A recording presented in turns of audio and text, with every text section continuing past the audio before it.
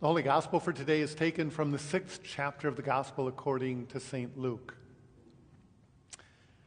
Now, Jesus came down with them, and he stood at a level place. And he was surrounded by a great crowd of his disciples and an even greater multitude of people who had come from Jerusalem and all Judea and even the seaside towns of Tyre and Sidon. They'd come to hear him and to be healed by him.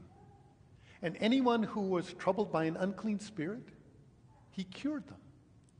And so they pressed closer, all trying to touch him, because power radiated out from him. Then he looked up and he said, Blessed are you who are poor, for yours is the kingdom of God. And blessed are you who are hungry now, for you shall be filled. Blessed are you who weep now, because you shall laugh. And blessed are you when people hate you and exclude you and revile you and defame you on account of the Son of Man. Rejoice on that day and leap for joy, because surely your reward is great in heaven, because that is precisely what your ancestors did to the prophets. This is the gospel of our Lord. Please be seated.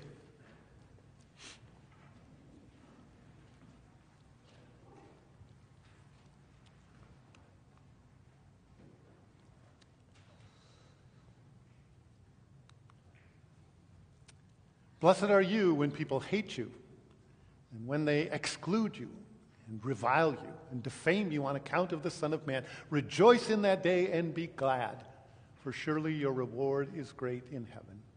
For that is what their ancestors did to the prophets. Those words of Jesus are not easy to embrace, at least not for me. Rejoice, to be hated and excluded and defamed and reviled. That is to be blessed? Well, yes, it can be. And the story of Robert Coles and Ruby Bridges and Tessie Prevost reveal just how that can be true. Robert Coles is a remarkable man. Um, here are just a few of the things about him. He was a Pulitzer Prize winner back in the 1970s. He was awarded the Medal of Freedom in 1999, our nation's highest civilian award. He got a MacArthur Genius Grant. He taught at Harvard Medical School, and he wrote over uh, 60 books and hundreds of articles. And in 1972, Time magazine called him the most influential living psychiatrist in America. And the thing he's probably most remembered for is this five volume work called Children of Crisis a study of courage and fear, and this is what he won the Pulitzer Prize for. And as the title indicates, he studied children who were in crisis and painted a portrait of courage and fear.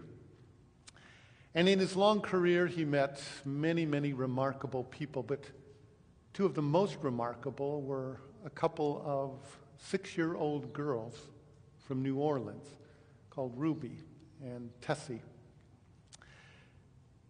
He met them almost by accident. It was 1960, and uh, he was serving as a psychiatrist in the Air Force. And he had joined the Air Force because he hoped to go to exotic places like maybe San Francisco and Hawaii and Japan. And he got assigned to Biloxi, Mississippi. So his life was kind of adrift. He was drinking heavily, he was battling bouts of depression, he was morose and withdrawn, and he began to think that he shouldn't be giving psychiatric care, he should be receiving it.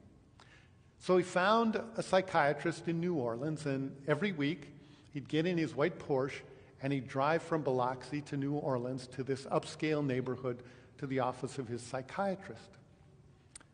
Well, on one of those trips, he was in New Orleans and he was driving through uh, a disadvantaged, poor neighborhood in um, New Orleans called the Gentilly District. And state troopers had blocked off all the major roads. and there was some sort of disturbance because of something going on racially. And so he stopped and uh, started asking around, and apparently it was at an elementary school, Frantz Elementary, not too far away. And so he walked over to see what all the commotion was about, and that was the first time that he ever saw Ruby Bridges.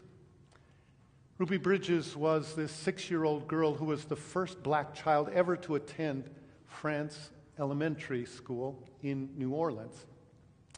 And as Coles listened around, he discovered that every day she had to run this gauntlet of an angry white mob that would scream obscenities, that would call her names, that would threaten her and her family. And she did that every morning and every afternoon. And when she did get to school, she was there all by herself because none of the white parents would let their children go to school with Ruby. She had to be escorted by federal marshals because the local police would not protect her. And so every day she ran that gauntlet with these U.S. marshals on either side of her. She came into school and then left at the end of the day. Well, Coles began to think that she would be an ideal subject for a study on the effects of stress upon children because of what she went through every day. This is the famous Norman Rockwell painting of Ruby Bridges going to school, being protected by federal marshals. And so he approached Ruby's family and asked if he could interview her and begin to, to uh, get to know her. And at first they were reluctant because no white person had ever set foot in their house. But eventually he won them over and he began to talk with her once a week. And whenever they got done talking and didn't have anything more to say, uh, he asked her to, to draw pictures. And as the weeks turned into months, he found that the roles were reversing. That he had come as this psychiatrist who had degrees from Harvard and Columbia and the University of Chicago to study and help this poor, disadvantaged girl in New Orleans. But he found that he was becoming the student and she was becoming the teacher. And she was teaching him how to lead a more meaningful and a more ethical life. Well, whenever he would meet with Ruby, he'd go home at night and he'd talk to his wife Jane, and he just couldn't understand how this six year old girl could endure this verbal abuse every day with such grace and equanimity. And he imagined what he would do if he were in that situation. And he said to his wife, If it were me, I'd call the police. But Ruby couldn't do that because the local police would not protect her. Then he said, Well, I'd call my lawyer. But Ruby and her family didn't know any lawyers, and they couldn't afford one even if they did. And then he said, Well, I'd rise above the mob by analyze them, I, analyzing them in psychological terms, and I'd probably write an angry editorial to the local paper. But Ruby couldn't do that because she was just learning to read and write. And so one day he finally asked her how she managed to put up with the awful, ugly abuse that she was getting each day. And she told him she prayed. She prayed every day. She pay, prayed for herself that she would be strong and brave. And she prayed for the people that she could forgive them for what they were doing. And then she said this Jesus prayed that on the cross. Forgive them because they don't know what they're doing. Well, Ruby was not the only six year old black girl to suffer from that kind of an abuse. Um, at a nearby school, the McDonald School, there were three six year old girls Leona Tate, Gail Etienne, and um, Tessie Prevost. And they were going through the same thing. And years later, Gail said, We were all spit upon. I had my dress ripped almost completely off of me. I was hit in the stomach with a baseball bat. Well, that's when the federal marshals had to intervene and had to protect these three girls as they went to and from school every day.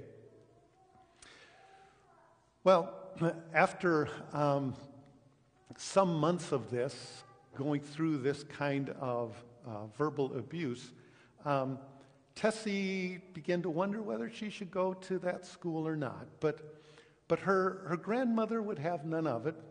You see, whenever the federal marshals came to uh, the door on uh, any given school day morning, she would greet them with good morning, and she'd say, Lord Almighty, what a gift. And then she would entrust Tessie to their care, and she would walk to school with her lunchbox in her hand, surrounded by federal marshals with revolvers on their hips. But Tessie had had enough. She wanted to go to school someplace else, but her, mother, her grandmother said no. And this is what her grandmother told her. She, she said, You see, my child, you have to help the good Lord with his world. He puts us here, and he calls us to help him out. You belong at that McDonogh school, and there will be a day when everyone knows that, even these poor folks. Lord, I pray for them, those poor, poor folks who are out there shouting their heads off at you. You are one of the Lord's people. He's put his hand on you. He's given a call to you, a call to service in his name. And so Tessie and her two friends kept going to the McDonogh school. Years later, Robert Coles wrote that in the academic scale of moral development, the highest level of moral development is to be able to love your enemies. And only a few people ever reach that, people like Jesus and Gandhi and a few precious saints. And he said he never expected to find that level of moral development in four little black girls from a poor neighborhood in New Orleans. And yet, he did. He did because those girls were blessed. They weren't blessed because they had to suffer that abuse. Jesus never blesses violence and hatred and prejudice and abuse. He doesn't bless it, and we cannot either, not for a moment. And yet they were blessed. They were blessed because they discovered at such a young age the power of forgiving your enemies the power of praying for those who persecute you. They were blessed because they learned, just as little girls, that more hatred can't drive out hatred, that more sin cannot drive out sin, that more evil cannot drive out evil, that more darkness cannot drive out darkness. Tessie's grandmother was right those people in that abusive mob were poor, poor people. They were impoverished morally and spiritually because they believed that prejudice and anger and dehumanizing others would lead them to the good life that they wanted. But they were so wrong, tragically wrong. Because darkness cannot drive out darkness, but light can. And more hatred cannot drive out hatred, but love can. And more evil cannot drive out evil, but goodness can. And more sin cannot drive out the pain of sin, but forgiveness can. Here's Ruby and Tessie today, grown women. And if I were to meet them, I would tell them, You were blessed. You were blessed to discover as little girls the power of forgiveness and prayer. You were blessed to be set on the path of goodness and grace, set on the path of light and love by the adults who loved you. You were blessed to have a community in your life that allowed you to rise above the hatred and the anger and the prejudice. You were blessed to be able to walk that path beginning as a six year old and continuing to walk it even today. Tessie and Ruby, you were blessed, and you are still blessed today. Amen.